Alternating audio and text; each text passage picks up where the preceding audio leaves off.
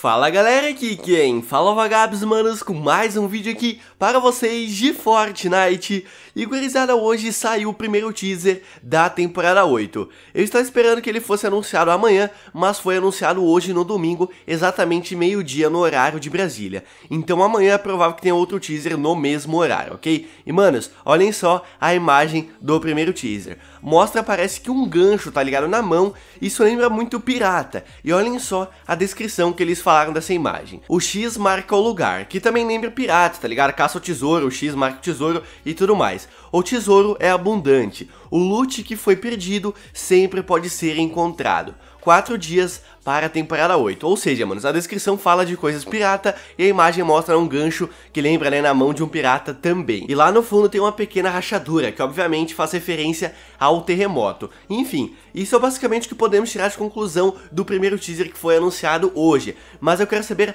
a opinião de vocês a respeito dessa imagem e da descrição dela também, beleza? Eu acordei já com o teaser anunciado, então o vídeo saiu um pouquinho atrasado, mas nos próximos dias os teasers né, serão anunciados provavelmente no mesmo horário, meio-dia, no horário de Brasília, então fiquem ligados lá no Twitter deles e também aqui no canal, ok? Então é isso, manos, aquele abraço, se vemos no próximo vídeo, valeu, falou, se eu fui!